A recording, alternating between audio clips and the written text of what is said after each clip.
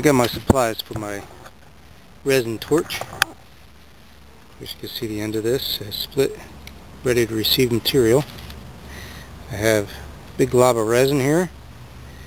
I have some fresh birch bark, old birch bark, a couple splints or shims, whatever you want to call them, and some cattail fluff. And I'll go ahead and assemble it.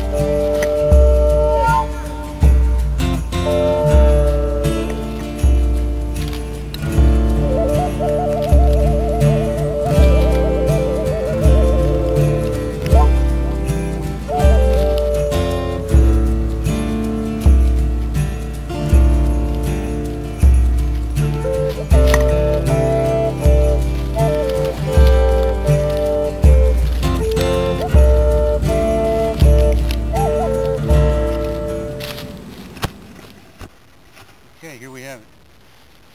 My torch. Crude torch perhaps, but nonetheless, it is a torch. Okay, it's made from a green stick, which I split, and in the splits I stuffed shims, along with resin, cattail fluff, birch bark, and a few other slithers of wood. So, I'll give it a light and see how she does.